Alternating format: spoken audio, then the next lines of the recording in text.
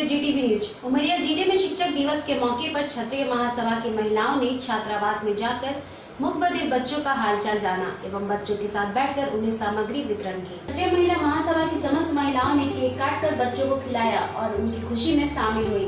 वहीं क्षत्रिय महिला महासभा ज़िले की अध्यक्ष श्रीमती वनिता सिंह एवं श्रीमती शिखा सिंह और छात्रावास अधीक्षिका एवं सिंह ने एकता सिंह ने बताया कि शिक्षक दिवस के मौके पर छात्रावास में क्षत्रिय महिला महासभा द्वारा आयोजित कार्यक्रम से मुख बधिर बच्चों को बहुत खुशी मिली है। सभी बच्चों ने खुशी का एहसास किया और उनकी खुशी में हमें भी बहुत खुशी मिली। सब पेरेंट लोग और हमारे लोगों के साथ बहुत अच्छा व्यवहार किया और हमको बहुत अच्छा लगा। और मिठाई बहुत बहुत शिक्षक दिवस के दिन हमारी छत्री समाज की महिलाओं ने यहाँ पर जो कार्यक्रम रखा है हमारे सी डब्ल्यू बच्चों के साथ और हमारे बच्चों ने भी अपनी प्रतिभाएँ इनको दिखाई हैं और हमारी मैडमों का सहयोग बहुत अच्छा रहा इन बच्चों के प्रति और इनकी जो भावनाएँ हैं, वो आगे आई हैं कि इन ये भी बच्ची समाज का एक हिस्सा है, समाज से बाहर नहीं है।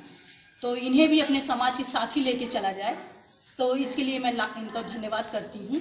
और इनसे मिलके पूरे हमारे सी डब्ल्यू एस एन बच्चों को और हमें पूरे स्टाफ को बहुत खुशी। जो जो कार्यक्रम हुआ है ये क्षत्रिय महिला महासभा उमरिया की तरफ़ से हुआ है और ये जन्माष्टमी के उपलक्ष्य में कि हम लोगों ने यहाँ आयोजित किया हुआ है मूक बदर बच्चों के साथ इन लोगों के साथ थोड़ा बहुत समय बिताने के लिए इन लोगों को समझने के लिए कि इन लोग को क्या ज़रूरत है क्या है और कैसे इनको चाहिए कुछ। मुँह बदले जो बच्चे हैं उनके साथ खुशियाँ बांटना चाहते थे। उनको खुश देख करके हम लोग भी खुश होना चाहते थे। और एक छत्री महिलाएँ घर से बाहर निकलें उनके लिए ताकि हम लोग कोई और चीज़ नहीं, इसी तरह के जलसे करते हैं, ताकि अच्छा सबके लिए समाज में जाने की। उमरिया से हमारे संवाददाता शंकर सिंह चंदेल की खास रिपोर्ट।